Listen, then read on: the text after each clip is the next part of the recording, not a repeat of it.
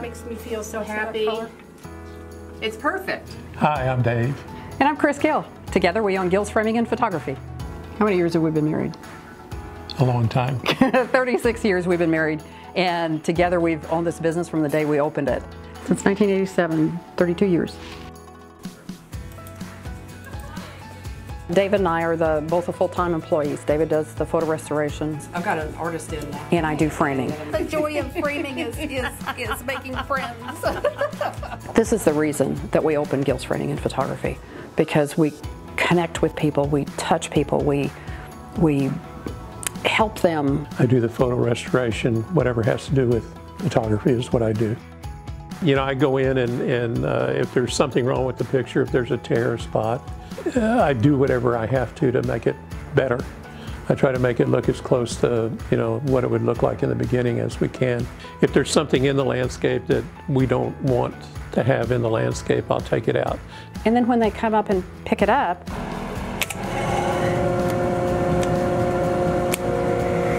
the first thing we do is pick out whether it needs a mat, and then what color of mat, and then the frame on it.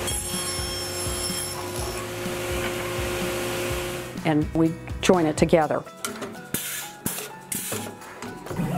And then we have a computerized mat cutter. We can cut out some different things. We can do some different shapes around the piece of art. We also, um, things like debossing, where it's just real subtle lines. And then we can also cut names out um, of the mat so it stands out. The happiest moments of my day are when people are picking up their art and seeing the look on their face and the joy, the smiles. You never have it pictured in your mind exactly what it's going to look like.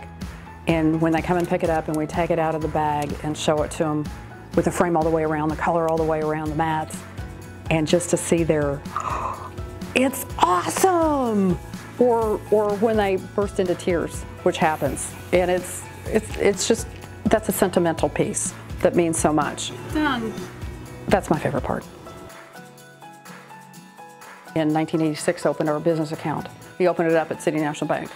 Paul L. Wanger has been um, our banker since we opened for business. He pretty much got to know us so well. Um, he would just walk us through it, done. Um, he helped guide us through thoughts and changes and, and stepping up and uh, what we should do, and so much support. City National Bank will be right behind you.